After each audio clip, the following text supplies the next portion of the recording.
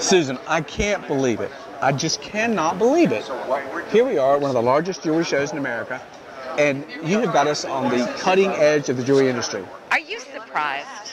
This is Rhythm of Love, powered by her heartbeat.